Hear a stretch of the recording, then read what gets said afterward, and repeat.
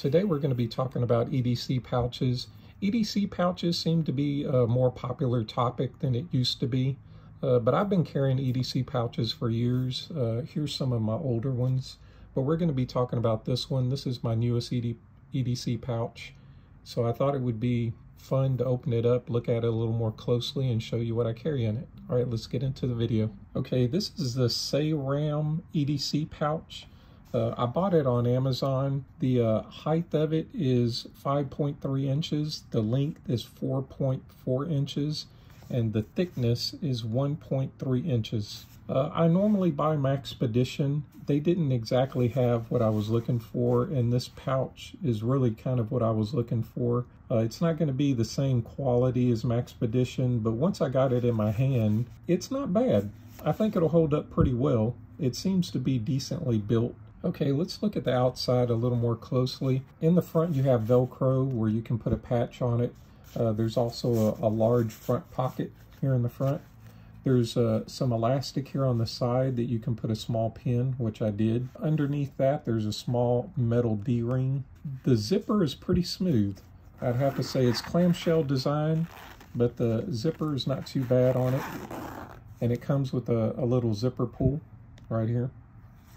In the back, you have two pouches where you could put a small knife or maybe a pry bar in there. Uh, this is not really much bigger than a cell phone. I mean, it's thicker, but it's a, exactly the dimensions of what I was kind of looking for. This is going to go not in my front pocket, but in a cargo pocket of my pants. And uh, it's a pretty cool little pouch. Okay, the only thing I'm going to keep on the outside of my pouch is this small little bolt action pin from Olight. It's a really cool little pin.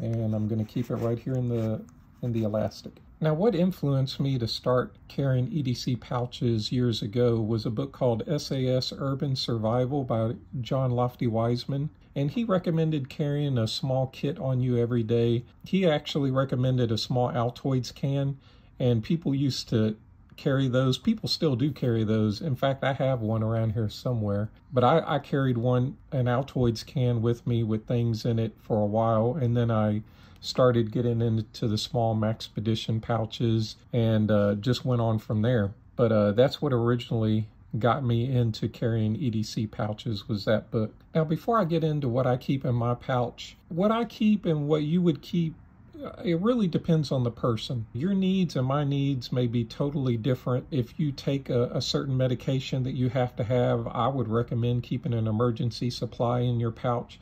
This pouch is to solve small problems, to keep you comfortable, and to help with small emergencies, really. It's stuff that you may not need every day, but it's good to have on you. But it's good to see what other people have in their pouches and what other people carry, you may see it and get inspired and say, hey, I'd like to carry that too. So the first thing I carry is some chapstick, and this is just for the obvious reason because my chips get, my lips get chapped. okay. The second thing I carry is a small Bic lighter. I like carrying this white one because it's it's almost clear and you can see the fluid level in it. So that's the reason why I like carrying this mini uh, Bic lighter that's white. Uh, I also like to carry some small nail clippers and there's a small little nail file under there. The next thing I have here are some tweezers and these are some really good, these are called Uncle Bill's Silver Gripper. These are really good tweezers. They're small and compact, made in the USA. But I carry these in case I get a, a wood splinter or even a, a metal splinter which happens, you know, if you work with your hands. Basically, I keep them for medical purposes. Another thing I like to keep, uh, this is a wavy pick, and this is a combo tensioner. It has a larger tensioner and a smaller tensioner on this side. This is something that probably most people wouldn't carry. Uh, I, I, have more extensive picks in my uh, get home bag, which I may make a video about that in the future. This wavy pick can open can open a multitude of locks. All right, another thing that I like to carry is th this is a basically a pill pouch. There's anti-diarrheal in here. There's uh, some Benadryl, things for heartburn, things of that nature. If you're ever out and about and you eat some bad food and you get diarrhea, you're gonna you're gonna be so grateful that you had some anti-diarrheal pills. All right, another thing I like to carry uh, is some emergency money. So I've just got a small little plastic bag here with some 20s in it. Emergency money comes in really handy. I mean, you could have lost your wallet. Anything could have happened, so it's nice to have a little bit of emergency money just in case. This, I did have aspirin in it, but I switched it to Tylenol. Tylenol is not only good for headaches and pain relief, but it's also a fever reducer. So this could actually almost really be life-saving if you get really sick. Uh, another thing I like to carry is Gorilla Tape. I actually used some of this already, so I probably need to put a little bit more on there. But I just got like an old Kroger's card or something and cut it down, and then I used that to wrap the Gorilla Tape around. But uh, Gorilla Tape comes in really handy. It can solve a lot of problems. Uh, another thing I have in my EDC pouch is a small pry bar. This one is the Gerber Shard. They're very inexpensive, or you could keep them uh, on your keyring if you wanted to. Uh, there's a small bottle opener. There's a pry bar.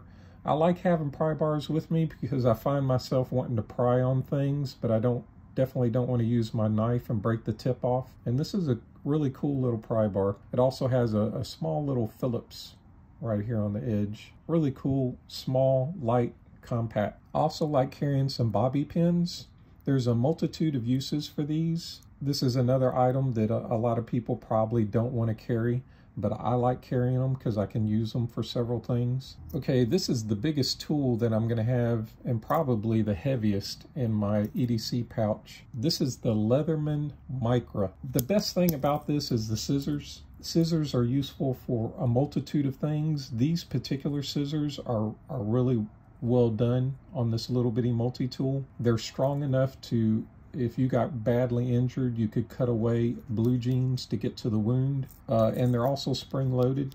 And they also have a bunch of other uh, useful tools. There's a, a, little nail cleaner and file. This is a small flathead. Then you have a, a really small little knife. What's interesting is you have some really small tweezers here. Okay, this is a smaller flathead. And because it's angled like that, uh, you could probably probably use that as a Phillips too. And here is a very small flat head that you could use to adjust your eyeglasses if you wear glasses.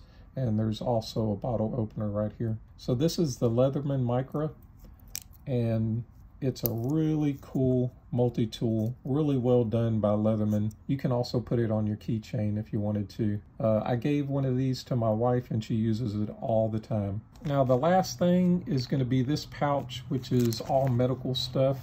I have alcohol swabs, I have some small gauze, I have different sizes of band-aids, I have some triple antibiotic ointment. Uh, so this can get you out of a jam if you cut yourself. I mean, this is not going, you're not going to be able to treat a large wound with this, but uh, you could you could treat a lot of cuts and scrapes with this, this little kit right here. Okay, we'll look in the inside of this pouch a little more closely. There's two small little pockets right here on the right side that you can use to organize things. And there's a large pouch in back. And on this side, there's a large pouch in back. And then there's also a long pouch that's short with three elastic bands to help you organize tools. And this is a really good layout. I like the way they've done this. I wish Maxpedition had a pouch like this because I know it would be really well made. Okay, this pouch is not going to be the same quality as Maxpedition, but this material, this polyester material feels pretty robust.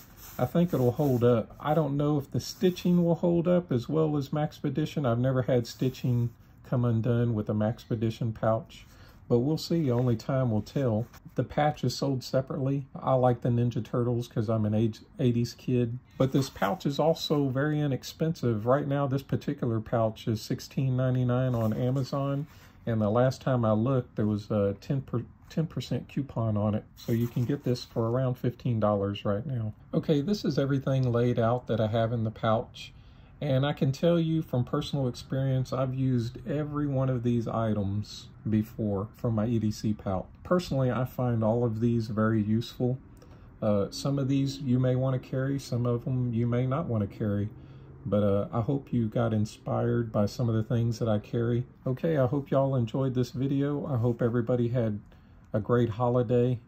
And I wish nothing but the best for everybody for the new coming new year. And I'll see y'all next time.